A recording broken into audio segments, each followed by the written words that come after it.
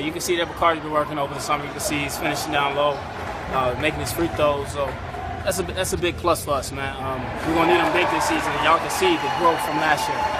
So Bakary's back. Um, he's playing tough under the rim, and uh, he's finishing his layups this year. He's doing a great job underneath. He's got he had a few rebounds for us, and um, you know he's just making progress. And we want we want this you know positive game he had today to just really you know boost him to continue to keep playing better and better. Yeah, I mean, we talked about really going inside. I mean, I thought Bakary did a lot of good things, um, but I just thought they were kind of playing a little small, so we had to go small to get some stops.